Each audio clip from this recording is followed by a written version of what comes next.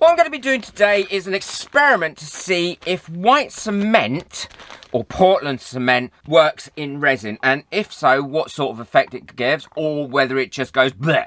Now white cement is very different to plaster of Paris. I've mentioned that before in quite a lot of my videos. It's quite a hard cement and it cures a little bit differently. Now I'm going to do different vases because I love the way that these vases come out and I will link everything that I'm using today in the description below so don't worry. And I'm also going to, in one of them, going to put some holographic glitter in one of the vases. I'm going to use some mica powder and see how that comes out in the resin and the Portland cement.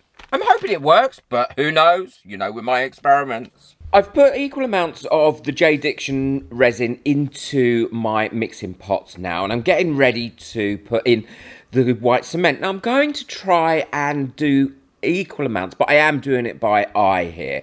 So if you wanted to ensure that you've got exact amounts in each time, then my suggestion would be just to weigh your powder so you know how much to put in and then that way you'll get a very similar result every single time. So topping this up now to make sure that I've got a kind of similar amount in and giving it a mix. Now this does go quite clumpy to start with, but it does mix in in in a few seconds quite well. Now I'm mixing this a bit faster than I probably should have done because it does contain an awful lot of air bubbles. Can you hear my dog in the background? She's scrapping at the carpet for some reason. Sorry about that and you will see the effect of the air bubbles that come out uh, a little bit later but you could see them there popping. And it also means that you will need to top up quite a few times once you've put this in your mold because once the air bubbles disperse then it leaves a space where they were. So pouring this in not too slowly but slowish to allow for a good adhesion to all the sides and hopefully no trapped air bubbles. Although we will do some squidgy widgy on it because that's quite important. So just finally topping this up, I will now give it some squidgy widgy and also drop it a couple of times from there we go to try and tap out any bubbles. But can you see the bubbles already starting to appear both on the surface here and where I've just lost those bubbles? I've already had to top that up. So put that to one side. We'll come back to that in a minute now what I'm going to do is fill up that little skull mould as well because I want to see what it comes out like on a little mould and I'm just using a bit of glitter. But check out here this is a good shot of me with my full face mask on and respirators. And I know I say this quite often in videos, but it's really important to take care of your health. Resin might be non-toxic, so it's not going to poison you, but it can cause skin problems.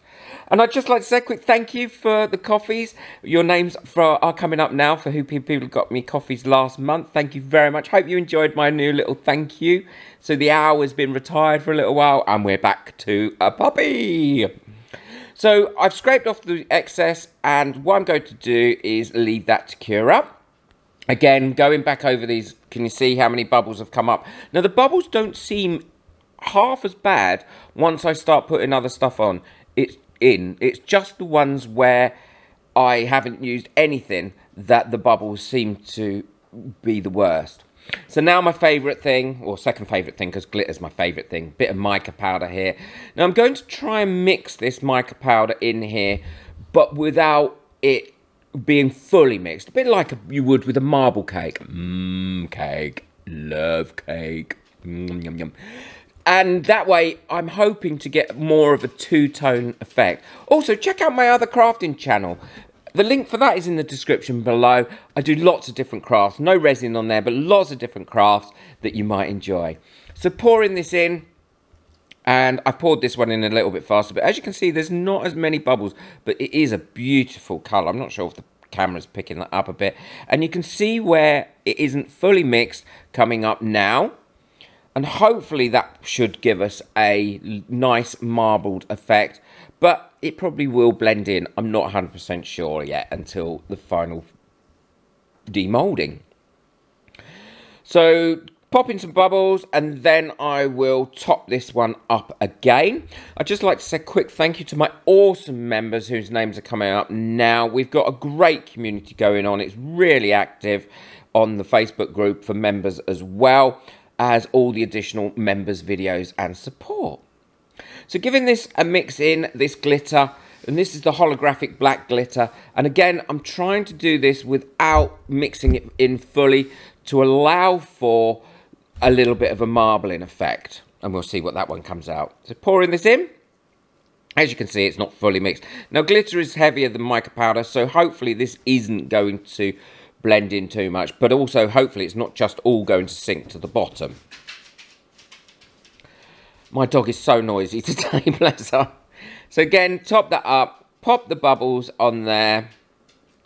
And then I will go over all the rest again and pop the bubbles on those. And what I did find is I had to go over them several times over about a 10 minute period to get rid of all the bubbles. And when they displaced, as you can see here with the purple mica powder one, it did leave quite a large gap. So it is a good idea to leave some to one side to be able to top up as and when you need to if you're going to use this. And I love this technique. I love how this come out. So, and you'll see that at the end. For some reason, I didn't get hit record and hadn't noticed when I demolded these. And I went on rabbiting about what they've come out like and none of it has come out.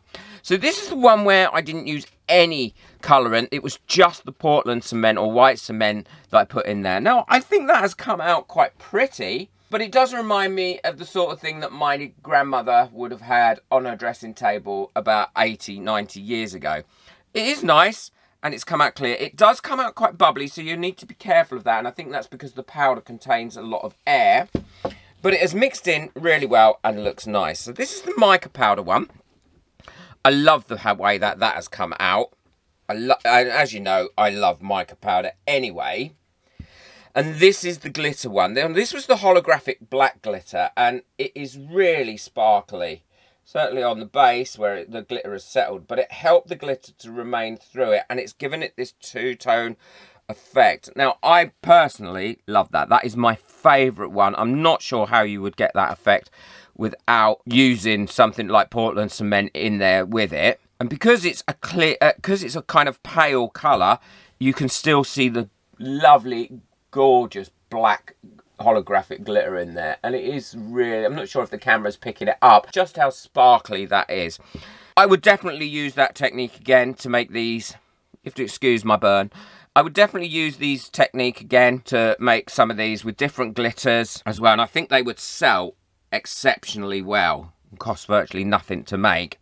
These are great moulds. I will link everything I've used in the description below so you can get hold of it, including the moulds. Please remember to boot the like button. It does help my videos to get out there. And if you'd like to help support my channel and allow me to keep making videos and things, then you can either become a member or, if you'd like, you can buy me a coffee and that's really appreciated. The links for both are in the description below. Take care. Enjoy your resin. Bye.